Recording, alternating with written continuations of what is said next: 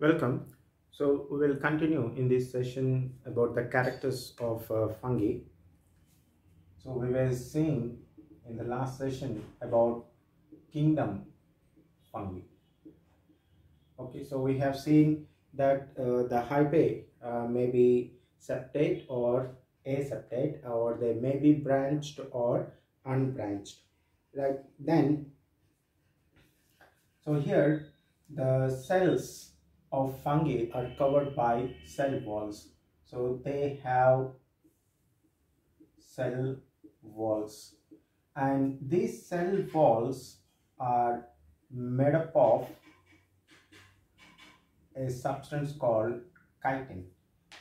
So this is what it makes different from the plants. Okay, so where they consist of uh, uh, cellulose. So here the cell walls are made up of uh, chitin and this chitin is actually a polymer of is a okay it's a polymer of n acetyl glucosamine units. So it's a polymer of n acetyl glucosamine units okay? So then right. Some members of this fungi are found in association with other species. Okay so some species of fungi okay they form symbiotic association. They form symbiotic okay association. So here uh, the symbiotic association which means symbiosis where association of two different species uh, in which both the species will get benefit. So here uh, examples of this symbiotic association like uh, lichens, okay, and then mycorrhiza. So those two uh, are examples of this symbiotic association and we know the lichens is a symbiotic association between okay alga and a fungus. And coming to mycorrhiza the mycorrhiza is a symbiotic association uh, right between the roots of okay higher plants plus the fungus so fungus uh, associating with the roots of higher plants will result in the formation of mycorrhiza. And lichens is an association between alga and uh, fungus. Uh, coming to reproduction in fungi, so we see uh, the three modes of reproduction. So coming to reproduction, so we will find vegetative reproduction then we'll also see asexual mode of reproduction and we'll also see the sexual mode of reproduction. So coming to uh, vegetative mode of reproduction so this will be uh, by fragmentation okay and by the formation of uh, budding. So i mean uh, by the formation of buds and also by formation i mean or by uh, sorry uh, fission. So fragmentation budding and fission. So here fragmentation uh, where okay so if the mycelial branches okay or the mycel the hyphae branches okay if they okay break into two pieces. So if they break up into two pieces okay or into any number of pieces and need not be necessarily only two pieces. Okay say this uh, one okay formed into one and this one and another one. Okay this one develops into new okay mycelium. And this one develops into an, another one okay and this one develops into an another one. Okay so that is uh, fragmentation.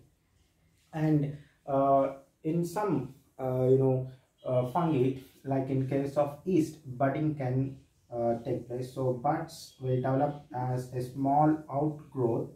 Okay so as a small outgrowth they develop right? And then the karyokinesis takes place and uh, you can see the nucleus is already distributed and then that will be followed by later okay cytokinesis so so this is uh, finally the bud gets separated. So this is uh, how the budding uh, takes place like example in case of uh, okay so budding in yeast right? And fission where a cell will divide into okay two daughter individuals so it divides into okay so two daughter individuals so this is the process of uh, fission here okay and this is a budding. So a bud develops so this uh, you can say so if it is like this so this is the bud. Right? So that's uh, three uh, modes of uh, you know vegetative reproduction fragmentation budding and uh, fission uh, you can take examples of fragmentation also uh, we can see in okay bread mold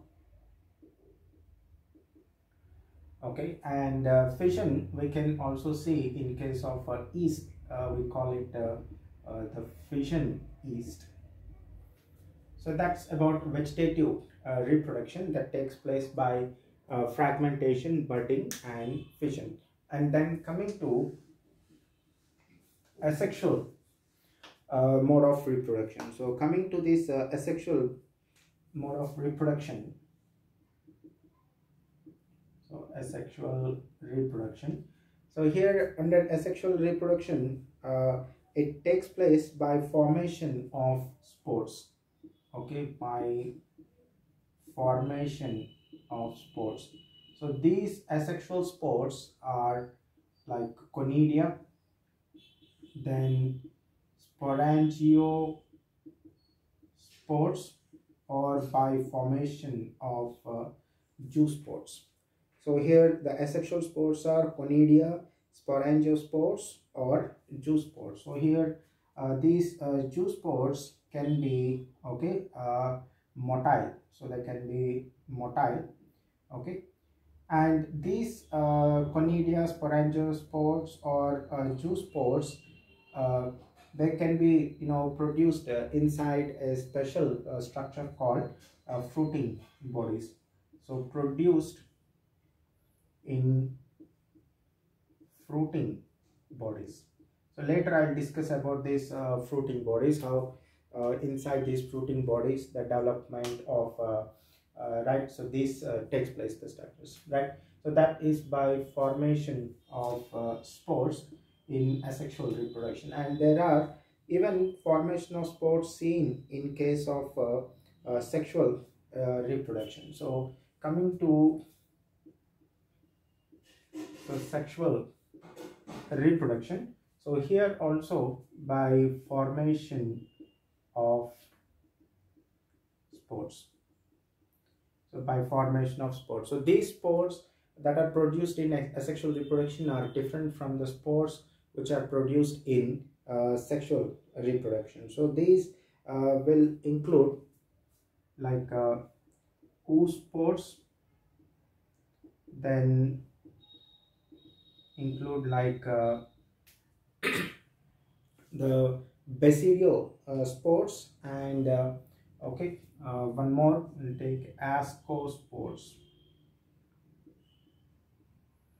okay so oospores basidiospores and asco ascospores are examples okay under which these uh, uh, under the sexual reproduction the spores are formed. So later uh, when i discuss each class individually we will see about these how the conidia are produced okay the juice zoospores and then uh, the basidiospores and so okay right so that's uh, some uh, general characters of fungi here now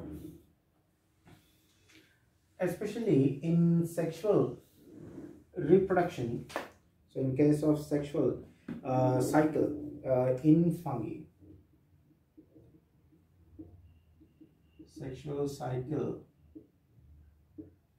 in fungi.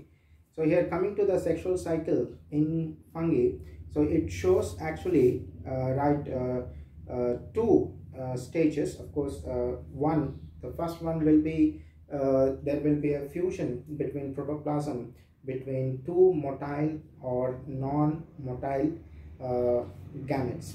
Okay, so the sexual cycle in fungi shows some stages. So first one is actually called uh, plasmogamy and second stage is called karyogamy and the third stage will be uh, the process of uh, reductional division in zygote. So that is meiosis in zygote. So meiosis in zygote. Okay. So here first we will see uh, the plasmogamy. So which will be uh, the fusion between so fusion between two okay two protoplasms. So fusion between two protoplasms okay uh, that will be uh, between two motile or non-motile gametes okay uh, or I'll mention so fusion of protoplasms between two motile or okay two non-motile gametes.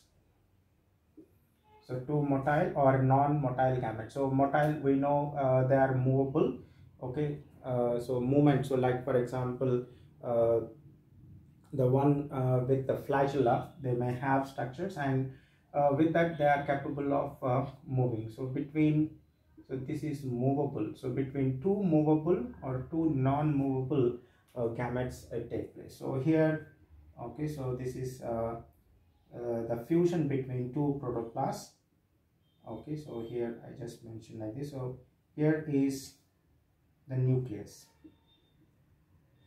So this is the plasmogamy. So how it is seen? The plasmogamy. Okay between two uh, gametes. Then later it will be the karyogamy so which will be fusion of two nuclei. So these two nuclei will fuse later once the okay so first uh, step that is plasmogamy is finished then these two will come together okay and fuse and this is a stage what we call it uh, the karyogamy so first one will be the plasmogamy that will be followed by karyogamy and then later it will be followed by okay uh, meiosis in zygote. Now here uh, in some cases uh, the plasmogamy is not immediately followed by karyogamy so as a result what happens? The nuclei uh, remain separate. So this nucleus and the nucleus of these two gametes okay remain separate. They don't okay fuse. And this is a condition what we call a, a dikaryophase dikaryophase so here i told you that uh, in after plasmogamy karyogamy takes place but in certain conditions okay uh, the plasmogamy is not immediately followed by the karyogamy. So as a result, uh, the two nuclei remain okay separate and the condition is called okay uh, the dikaryophase. Okay, so of course uh, you can also call the dikaryon. Okay, and the phase we call it dikaryophase. So this is a dikaryon. Okay, so you can also call it dikaryotic stage dikaryotic stage. Right so dikaryon or dikaryotic stage. So uh, in this uh, we know that the gametes are uh, you know haploid. So this one is haploid and this is also haploid. So these two haploid uh, nuclei or the gametes which are also haploid they remain okay separate for a period of time. So later after a certain period of time these nuclei will uh, will uh, fuse. So that will result in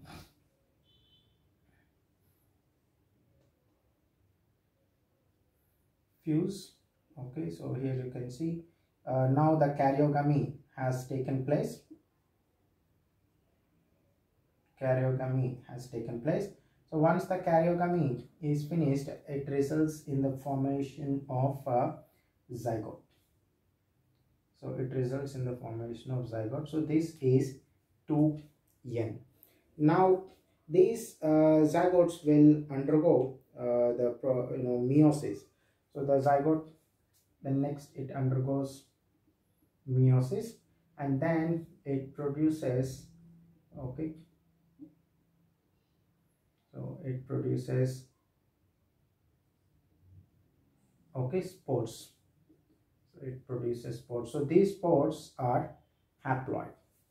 And these spores upon germination they give rise to again uh, those filamentous uh, structures called hyphae and the network of uh, so many filaments they form and then uh, that results in the formation of mycelium. And again that mycelium okay will produce uh, the fruiting bodies and the fruiting bodies will produce these spores and will be released into the atmosphere. So this is uh, the sexual cycle uh, how it takes place in case of uh, fungi.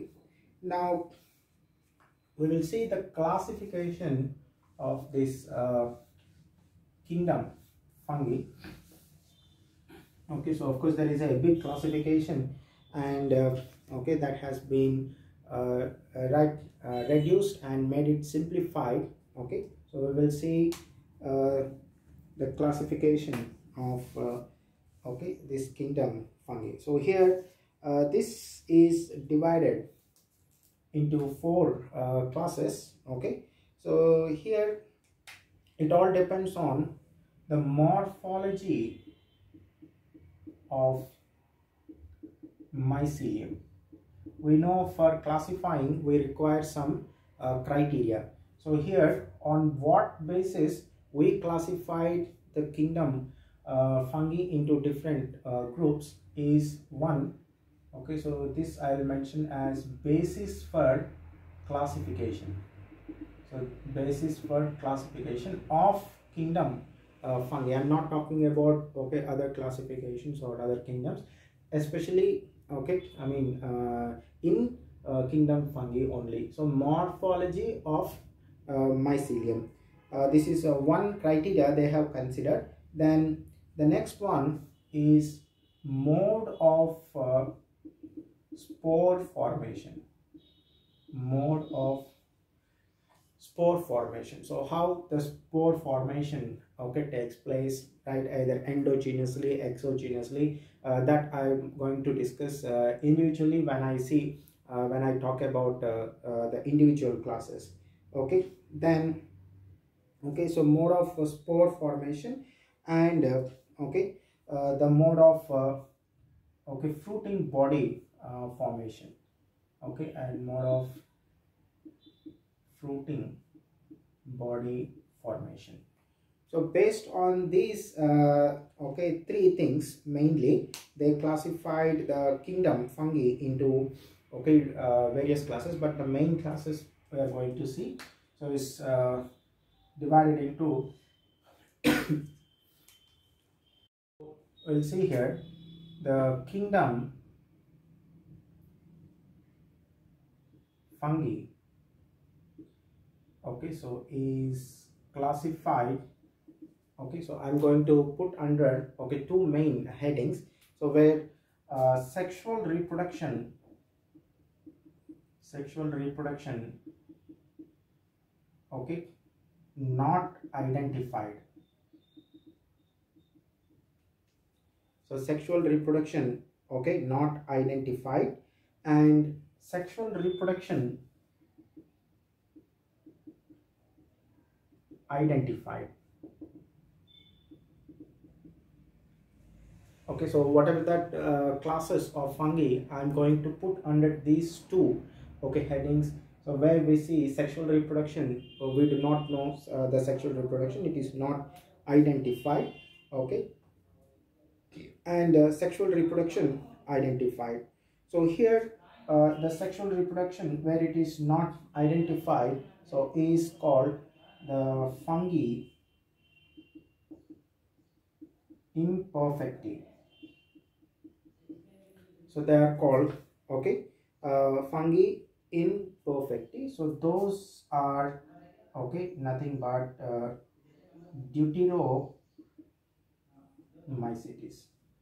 So under this okay so we have is deuteromycetes so these deuteromycetes of course are called fungi imperfect or imperfect uh, uh, fungi. Okay that later i will discuss okay? So these uh, this is the group uh, in which we have included all those uh, you know fungi whose uh, sexual reproduction we did not identify. Of course later researchers may help to identify okay? That we'll see it later then coming to sexual reproduction identified so in this i'm going to again classify into two different categories so one, I'll put them as a primitive fungi and then advanced fungi. So primitive uh, fungi and advanced okay fungi. So here in this uh, primitive fungi, the mycelium is aseptate. So here mycelium is aseptate. Whereas in advanced fungi, the mycelium is septate. Okay, so in advanced group, the mycelium is septate. And uh, in primitive fungi, so we don't see uh, them, okay, uh, I mean, uh, the hyphae, whatever, they are not, okay, septate. So they are aseptate, okay. And this group, we call them as a Oomycota. So this group is called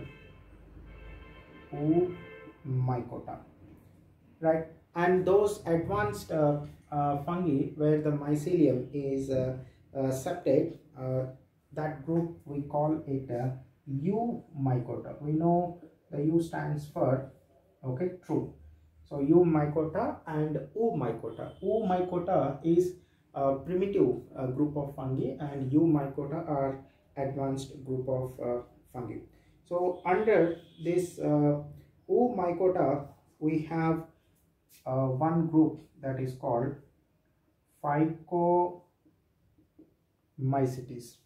So we have a group called Phycomycetes. And under uh, the mycelium, uh, where the that is uh, Eumycota, we have two groups.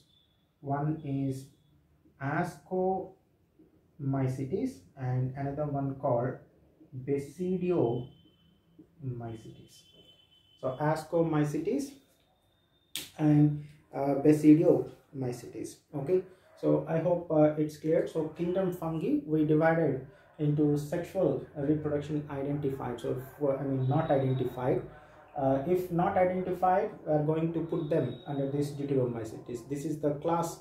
Okay, so we have obtained all the four classes so right so we'll see one okay two so this is three and okay four so deuteromycetes phycomycetes ascomycetes and uh, basidiomycetes so here uh, we see that the sexual reproduction is not identified. So there the sexual reproduction identified. So here so the primitive fungi and these are advanced fungi. Okay? And these are uh, imperfect fungi. So already which i mentioned here i mentioned imperfect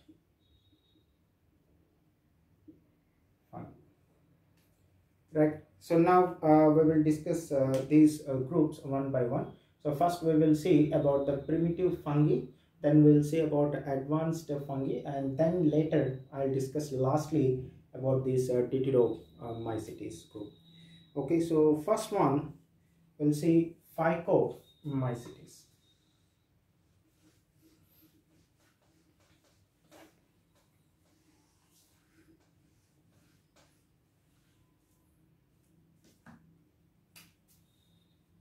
So the first class is phycomycetes. Okay. So these uh, phycomycetes actually are algae like fungi. So they are algae like fungi. Okay but they are not uh, algae right? And these uh, are found in okay aquatic habitats so found in aquatic habitats. Okay so that is in waters we find them. Then we also find them on okay decaying wood. Okay and also on decaying wood in moist and uh, damp soils we know for a fungi to grow uh, compulsory there must be moistness uh, present. Okay so these phycomycetes we see them growing okay in moist and okay uh, damp uh, soils. And these okay also and also live as obligate parasites so live as obligate parasites. So here obligate parasites which means uh, those uh, parasites that can okay so or that live only as parasites.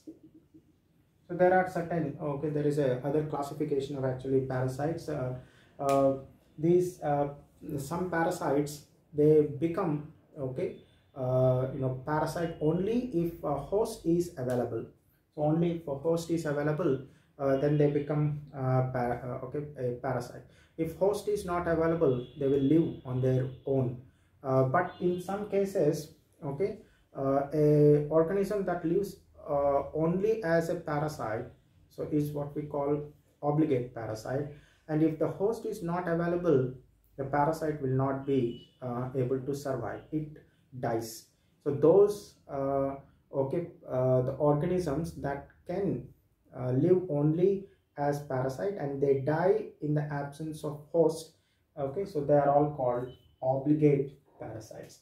Okay so so they uh, they are free living some of them and some of them uh, are obligate uh, parasites. And this uh, are seen on plants. So obligate parasites on plants uh, which are included under this uh, phycomycetes then mycelium is aseptate. The mycelium is aseptate. So already i have uh, mentioned okay this uh, phycomycetes under Oomycota which are primitive fungi and primitive fungi will have uh, uh, the mycelium aseptate. So mycelium is aseptate and if it is aseptate then we see the condition called uh, and it is cenocytic. So we don't find any uh, partitions and we see okay something like this. So this is aseptate and cenocytic condition. Okay, right. Uh, with this, uh, I will end today's session. So in the next session, we will discuss uh, further, you know, uh, characters of these uh, phycomycetes.